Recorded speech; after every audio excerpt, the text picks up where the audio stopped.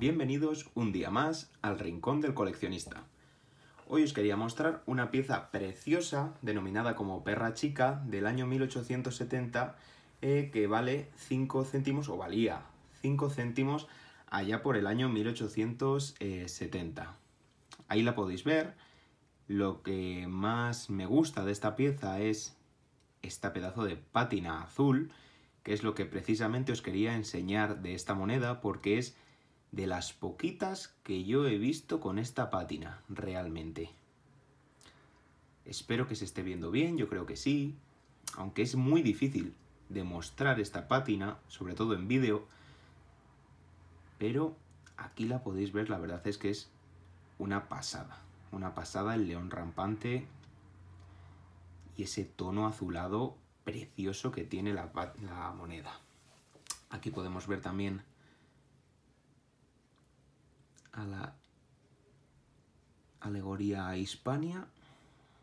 Y aquí la podéis ver que también tiene unos tonos muy muy bonitos, con un brillo original precioso.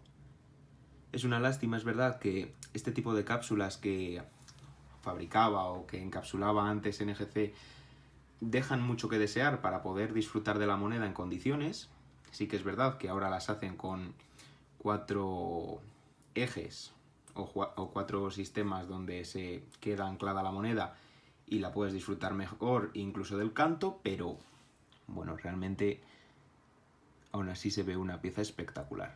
La verdad es que estos tonos azulados son preciosos de ver y además pues con la cantidad de historia que tiene la famosa perra chica y perra gorda en España, esta concretamente es la perra chica, y bueno, pues la verdad es que es un gusto. Es un lujazo tenerla así. Y ya os digo que es de las poquitas, poquitas que he visto con esta pátina. Y por eso os la quería mostrar y compartirla con todos vosotros. Ahí está. Ahí la podéis ver.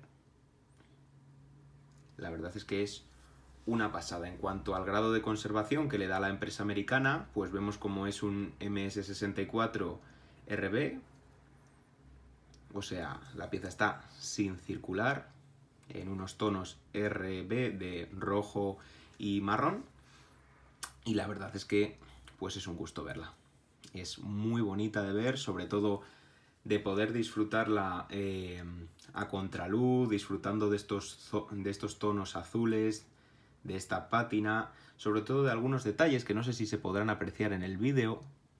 Eh, por ejemplo, justo por debajo del, del cuerpo del león podemos ver alguna rayita y justo esa rayita lo que viene a ser es el brazo de la matrona de Hispania.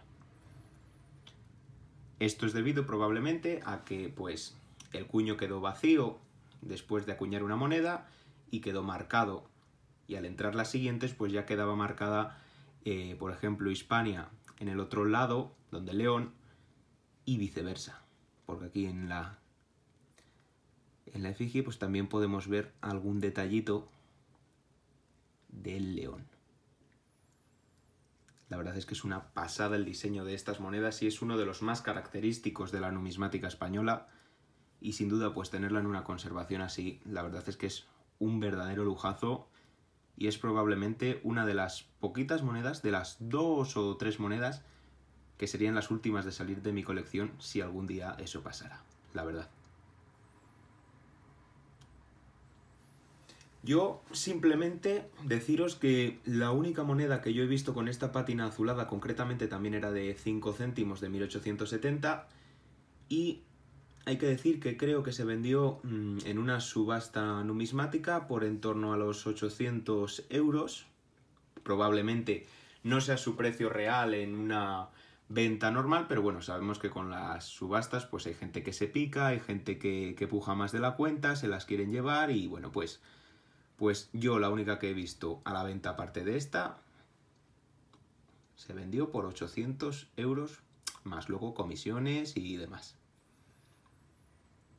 Una pasada, de verdad que estaría horas y horas disfrutando esta moneda porque es que lo merece y mucho la pena la podéis ver. Ya os digo que Es una pena sobre todo el que no se vea el canto, pero bueno, la verdad es que poder ver esta pieza así es espectacular, sin duda. Estos tonos que ha adquirido con el tiempo, si se ve alguna rayita probablemente sea pues de la propia cápsula, ni mucho menos es de la moneda.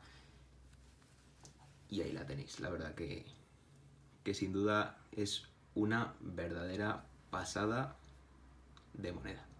Como ya os digo, entre las dos, tres más bonitas y más preciadas de mi colección. Ahí está. Y nada más que añadir, espero que os haya gustado la moneda.